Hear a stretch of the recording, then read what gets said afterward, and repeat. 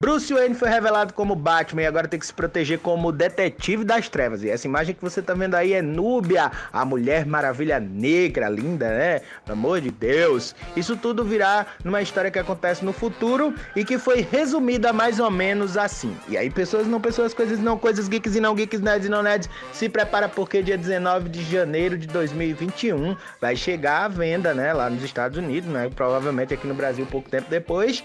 Esta revista que está descrita dessa seguinte maneira: a, DC Universe sempre foi um terreno fértil para novas e revigorantes interpretações de nossos personagens. E DC Future Stage definitivamente contribuiu para esse legado, disse a editora executiva da DC, Mary Javins ao anunciar o evento. Quando o evento começar em janeiro, alguns leitores mais experientes vão aprender e compreender algumas das migalhas de pão que já foram largadas em nossos títulos atuais, mas também encontrarão novas dicas, dicas e pistas do que virá acontecer em 2021. Estamos curiosos? Eu estou curioso. E você? Me conta, me fala, presta atenção, joga por aí, me responde e também curte, compartilha e se prepara que Todo sábado tem vídeo novo completinho com várias coisas no Orbita Geek.